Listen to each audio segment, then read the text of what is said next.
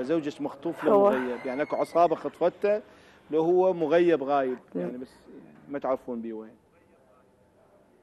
يعني ما نعرف بيه وين. يعني هو انخطف من الطريق أثناء عودته من الدوام. زوجك يداوم؟ بالمدائن.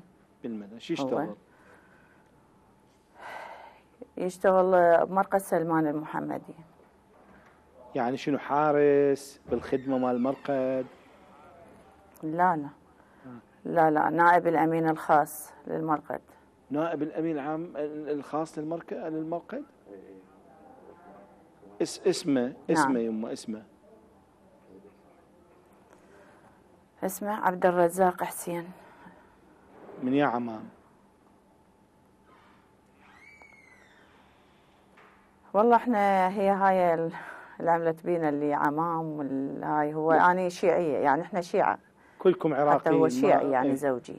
مو فإحنا بس من هاي. أنا لا عراقيين يعني. أنا من يهمني. الناس لا أنا. يهمني أمي. اسمحي لي أمي. آه. أنا يهمني. تعرفين ليش؟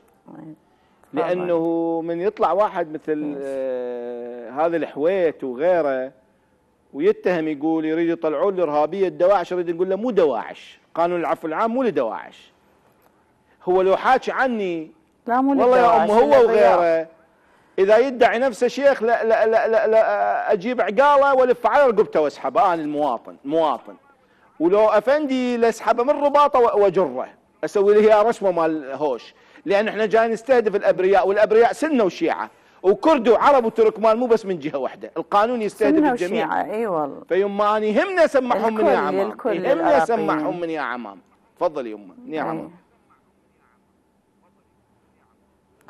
هو غراوي. والنعم. والنعم. غراوي. والنعم. وبالجنسية مكتوب يعني ساعدي هم لأن الغرة يرجعون والنعم من من غرة. ومن السواعد. اي هم عمام وإن شاء الله زودهم وعزهم. وكرمهم وبطولتهم. معروف. شنو قصة يم زوجك احكي لي. والله بس إحنا والله مو طائفيين. يعني هو ما يحكي. بالطائفية ولا نحب الطائفية. ومن وخذ يما ما إيه يعني عراقي إذا طائفية. يقولون الأسباب حقيقة طائفية. ما- إيه. لا والله مو كنا عايشين يعني عايشين كنا ما حد يعرف هذا من يا طائفة وهذا من يا طائفة والله العظيم إيه. هاي بعدين حتى كنا ما نعرف إحنا بذاك الوقت يعني الحمد لله الحمد لله على كل يعني هو انخطف في زمن ما كانت الطائفية تقريبا يعني نقول تقريبا يعني حسب الإعلام والها يعني السيطرة عليها يعني انتهت بال 2016 4 9 2016 هو انخطف نعم. أثناء عودته. يعني هو جاي من هذا ما عنده أي يعني لحد الآن أنا لغز يعني احتاريت وهاي يعني اختفائه وخطفه. ما أعرف على شنو السبب. يعني ماكو أسباب. لا هي طائفية لا هي أسباب عنده أعداء لا عنده شيء يعني هو إنسان كلش مسالم وإنسان واصل هسه إذا واحد يسأل عنه يعني يعجز اللسان عن وصفه ماني لأن زوجته وأحكي هيك بيه. اسأل يعني أي واحد يسأل عنه وشوف شو يقولون عن أبو أمين.